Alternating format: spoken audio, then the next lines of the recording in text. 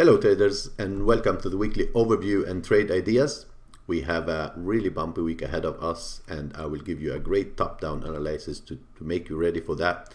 We have uh, FOMC, we have uh, BOE, we have the BOJ and to not forget the G20 meetings that are going to be very very important to keep an eye at. So while I roll the intro disclaimer, hit that like button for me and if you're new to this channel, do not forget to subscribe. See you there.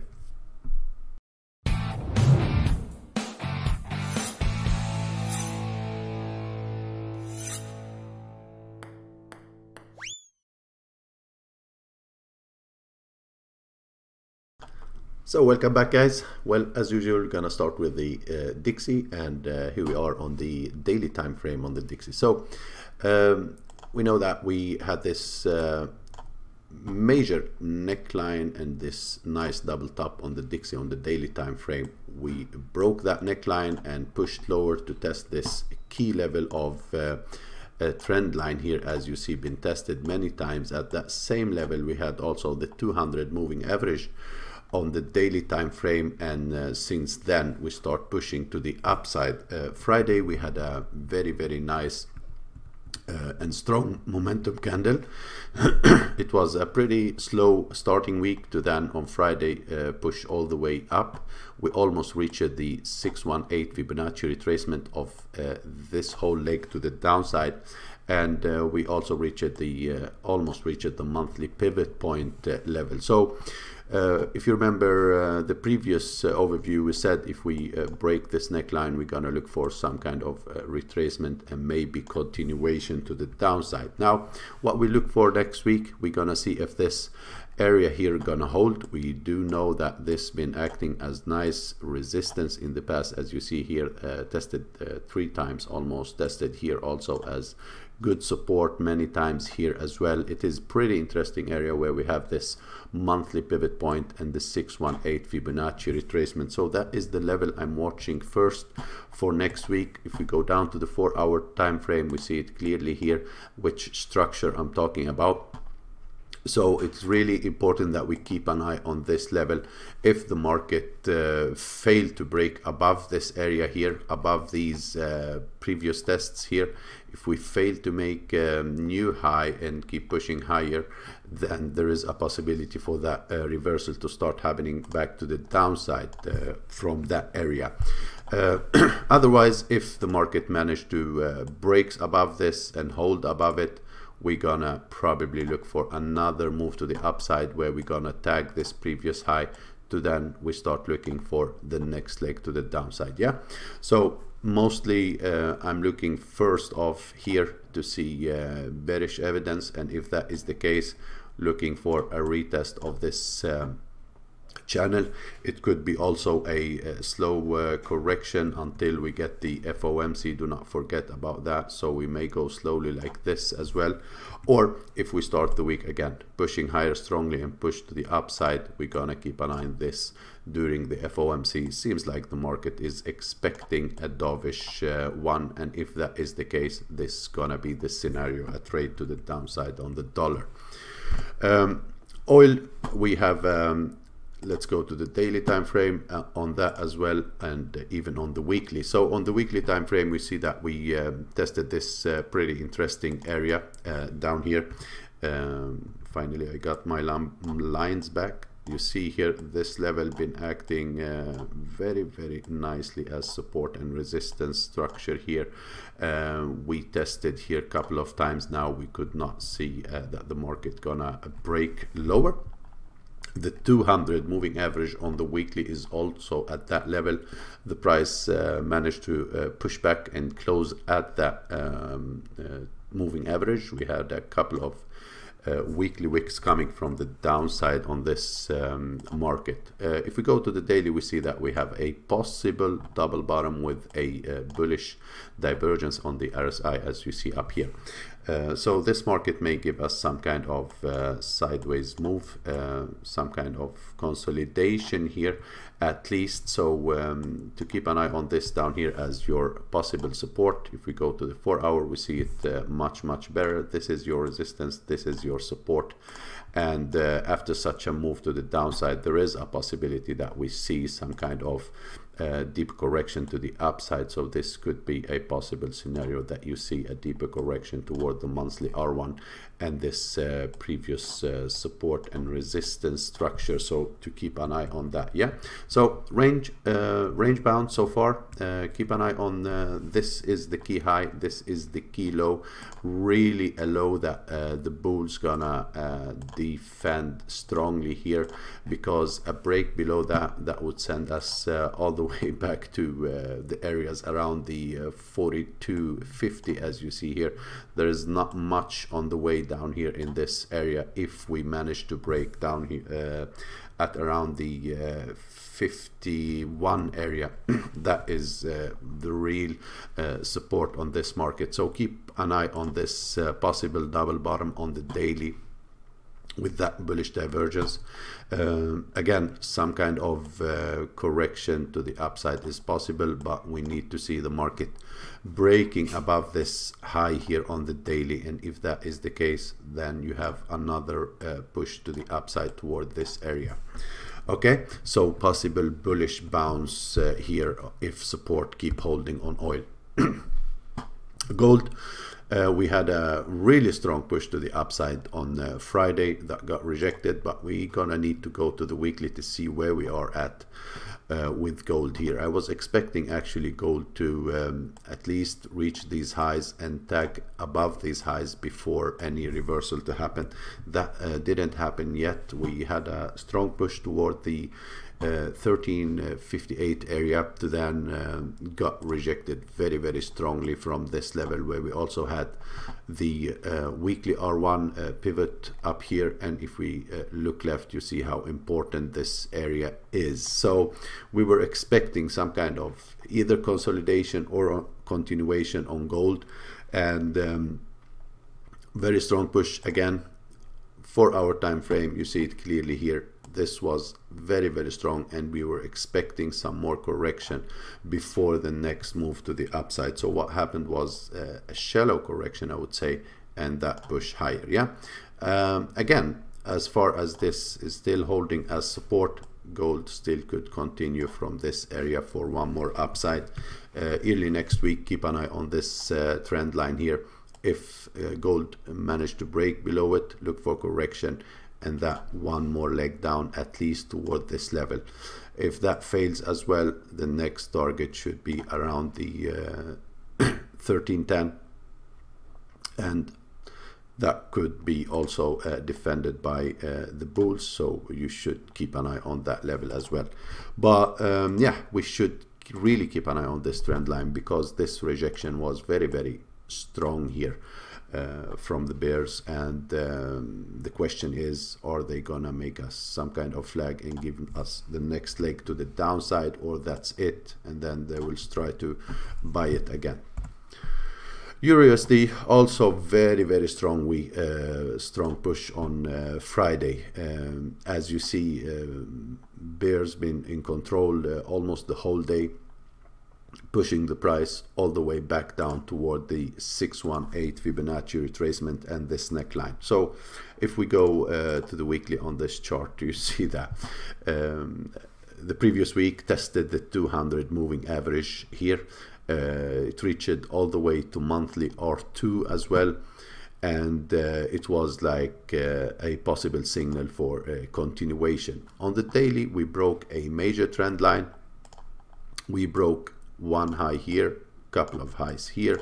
We broke even above this high. So the market was very strong pushing uh, breaking all these highs without uh, almost any issues at all and uh, yeah the uh, the scenario was uh, to look for a retracement and continuation. So basically on the daily time frame if you look at this chart on the daily your swing is like this. This swing high this swing low is the major one and this is your second swing high here which is the key one. And I think where the market is testing right now is the major swing low. Um, if this got broken strongly, then we're gonna see the euro pushing back down and we maybe start looking to buy it from this level. But as it is right now, uh, you should really keep an eye on this uh, level where the market is testing right now. We have the 618 Fibonacci retracement. We have this uh, major swing low. We have the neckline uh, from this uh, triple bottom or double bottom here. And here that got broken and getting retested. The last time we pushed strongly from this area. Friday there was no rejection from this level. Uh, there was almost no profit taking at all at this level. And we have the 200 moving average on the four hour also at that area. So it is a key level. It could at least give you some kind of slow correction or a momentum move that will signal that uh, the bulls uh, are still trying to uh, keep control of this uh, um, market to the upside. Yeah? So what to look for next week is if we start going like this slowly slowly slowly that could signal that we having a uh, bearish flag and the possible next leg to the downside which gonna mean we're gonna test these lows here to then start looking for that reversal once again to the upside. Or if we start seeing a really good momentum here impulse to the upside and slow correction to the opposite direction that would mean possibly continuation. In any case you really should keep an eye on this area. This is gonna be um, a key level uh, short term on this market. Longer term the key level is still down here as you see. Okay? Sterling uh, USD also uh, pushed lower. The dollar was very, very strong on Friday, um, was um, stronger than almost all the other currencies. Uh, so the sterling on the weekly time frame again we're sitting back at this uh, 1.26 support area. Uh, this is a key level as you see on the weekly time frame. A break below this uh, 1.26 uh, uh, strong one will send us much lower. We start looking at this swing low and these swing lows in that case which mean monthly s1 monthly s2 may got tested yeah on the daily time frame you see that we had this uh, attempt to push higher got rejected at the previous um, support and resistance area and uh, since then it kept pushing lower to then break this um, uh, correction and uh, on Friday very strong push lower. Where the market is sitting right now is a key level in my opinion and that is an area to keep an eye at because there is a possibility that we start having some kind of consolidation here before either a break to the downside or a rotation back up. Yeah? So uh, pretty interesting level. Keep an eye on this uh, still there is no signal. I don't see any divergence or something like that. Well on the daily we do have a nice divergence actually but not on the lower time frame. So we do have this uh, divergence going on but that is not enough. We, mu we must see some more um, um, bullish evidence uh, at least something as we had here a push lower, uh, tag the lows to then uh, get rejected. That could be something because the range is still this area here, buy low, sell high until we have a break out of it. But the sterling still looking uh, pretty weak so far. USD JPY also um, still halted in this area in a range uh, 108 is a key level. We know that. If we look at the daily we tested lower to then push higher and keep uh, inside this upper range now. And uh, Friday's candle was a nice uh, bullish uh, bullish engulfing candle which mean that continuation to the upside to test this structure is very very possible. This is very interesting level for me to look for a possible retest and uh, another continuation to the downside. So the four hour time frame you see we had a we have a very very um, ranging and slow moving market on uh, UJ and I think a breakout if it happens it's gonna give you a very strong push to the upside almost equal to this one uh, here but to the opposite which means uh, an upward move toward um, uh, this area around the um, 110 109 is the first uh, objective for sure if we break higher here. So yeah uh, keep an eye on this. Keep buying this area down here unless you see it broken st strongly or a strong break above this you start looking for retest and continuation to the upside on this market. Um, USD Chief also let's go to the weekly time frame. We ended up with a inside bar uh, the last week after a strong break uh, below this trend line. We almost tested the 200 moving average on the weekly which is here down here. We had the monthly s2 as well at that level and uh, we know that this has uh, been a nice interesting area of support and resistance here. So you really need to keep an eye on that uh, level.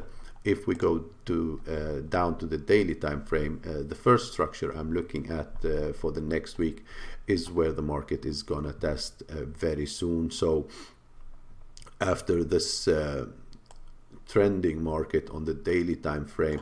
We broke uh, this uh, major structure as well. We broke the 200 moving average and uh, the major trend line. So um, a correction a retest of this area is a pretty good level to look at. We're gonna start looking at this level when the market reaches this area for bearish evidence in case we have anything like that to then look for that continuation on this market. As for now uh, there is uh, still no signals. The uh, correction uh, just started. We just broke above this uh, neckline here and this could push some more to the upside. Keep an eye on this trend line here on the four hour time frame and this kill zone between the 38 and the 50 Fibonacci retracement that could be the level where we're gonna start uh, looking for bearish evidence. And if that is the case one more leg to the downside is possible on this market. And USD CAD same scenario very strong uh, Friday. So uh, the weekly time frame looks like this. And again we are waiting for something like this to happen or like that after the correction here ends the bigger trend uh, trade is this one. So keep an eye on this trade. Do not forget about it. Uh, daily time frame we know that we broke a key structure here to the downside.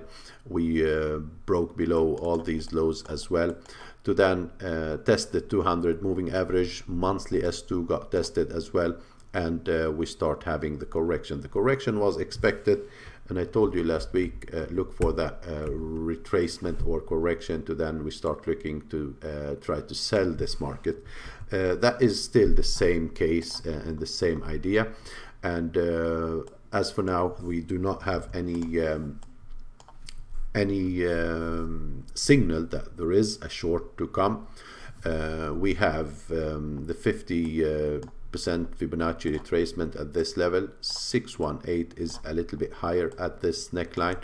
Also important we have the uh, 200 moving average on the four hour as well at this level and we just broke above monthly S1 once again. So we're gonna look for bearish evidence in this uh, zone here and if there is uh, no real uh, bearish evidence and the market start giving you this slow correction like that, that could mean another attempt to reach the highs and uh, you should not be shorting in that case. You should be uh, we should be following uh, uh this uh, possible new momentum to the upside if we get uh, a slow correction like that toward um, test the highs once again okay um, Aussie New Zealand, uh, uh, sorry, Aussie USD, I would say weekly time frame you see where we are right now. So this is getting very very interesting. The aussie is very weak. We are testing uh, these areas right now uh, and below that there is nothing on the way until we start uh, reaching these levels. So it is a, a, major support level and a break below that will open a really strong uh, momentum to the downside. The market is still trending lower on the daily below the 200 moving average. What we've got was a retest and continuation uh, very strong push lower but again we are sitting back down on this support right now so we should really keep an eye on that support if it's gonna hold or if it's gonna break. Because a break below this a strong break below this that will signal that uh, longer term continuation to the downside on this market. Keep an eye on that uh, FOMC though because uh, that's gonna be very important Another thing, we do have uh, a nice uh, bullish uh, divergence on the RSI and the daily. So this double bottom is still a possible scenario that you see some kind of bounce from that. Um, it could be uh, this case now after this impulse that we start having some kind of flat formation before any reversal to the upside or a um, uh, let me close my uh, notifications or a continuation lower. So new possible scenario here, buy the low, sell the high until we have a break out of this range and really keep an eye on this support level down here that is a major level. And if broken mm, not much will stand in the way of this market. And New Zealand USD almost the same scenario here. We go to the weekly and we see that we are testing yet another uh, important level and below that there is not much. Uh, I could also show you my monthly idea that I have since this correction started for a very long time ago on the New Zealand USD a possible ABCD um, move but uh, before that happens we need to see a break below the B leg here. So on the monthly it does really look that this scenario may happen here uh, another uh, continuation but there is a lot to happen before that. Uh, again the monthly time frame we uh, broke these major levers. We did a retest and now we have some kind of continuation. As you see this is very possible scenario that we reach and test this major swing low here. So uh, weekly time frame again there was um, a gap that got closed to then bearish engulfing candle here. After that 38.2 Fibonacci retracement monthly R1 retest of the neckline. And as you see if we break this low here we're gonna test lower and lower and lower. So um, there is a lots of um, opportunities here if those uh, breaks start to happen. So on the daily time frame keep an eye on this. We may break below this and test these lows and maybe continue to the downside. But again why to sell at support after such a very strong move to the downside? Uh, we need to have some correction. You see, this was a mirroring of uh, what happened to the upside. So it was like this and a V shape back down uh, to the downside. For our time frame is also uh, extremely oversold and we testing support. I would say um, it could be time for some correction. If we get a slow correction like this, keep an eye on this area here as your first level of uh, trouble or the possible sell area. If this market managed to break above that, then we are going for one attempt to the upside, the same scenario as the Aussie. Possible um, flat formation uh, down here before any continuation, yeah? So um, yeah, those were uh, the ideas for uh, these weeks. I hope you guys like those uh, videos and you, if you do so do not forget to give me that uh, like button.